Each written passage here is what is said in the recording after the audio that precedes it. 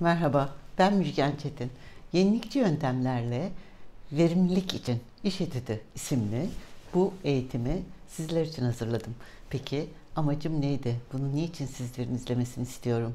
Çünkü korona sonrası verimlilik çok daha önemli hale geldi korona öncesine göre. Artık yenilikçi yaklaşımlarla dünyaya bakmamız, üretim tesislerimize bakmamız, yaptığımız işlere bakmamız gerekiyor. Peki bu eğitimde sizler neler öğreneceksiniz?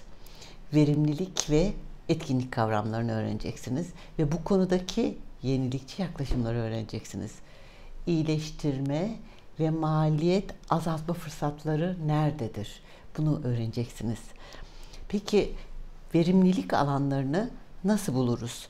Yenilikçi yaklaşımlarla bu alanları nasıl hayata geçiririz? Bunları öğreneceksiniz. Hiç yatırım yapmadan ve çok az yatırım ile verimlilik nasıl arttırılır? Bunu çok önemsiyorum. Hiç yatırım yapmadan veya çok az yatırım ile verimlilik alanları nasıl bulunur? Bu konuda bilgiler alacaksınız. Peki benim dengelenmiş kadro hesabım nedir?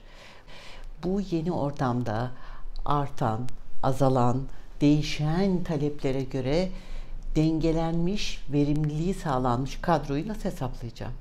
İşte bu eğitimde bunları da size anlatmak istiyorum. Peki ölçtünüz. Bu ölçtüğünüz zamanı nasıl bir standart zaman olarak kullanacaksınız? Yine bu eğitimde bunları bulacaksınız. Yorgunluk toleransı nedir? Tempo nasıl takdir edilir? Verimliliği nasıl ölçerim, değerlendiririm? Bütün bu kavramların hepsi bu eğitimin içerisinde detaylı olarak anlatılıyor.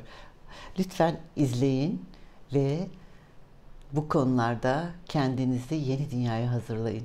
Görüşmek dileğiyle efendim. Hoşçakalın.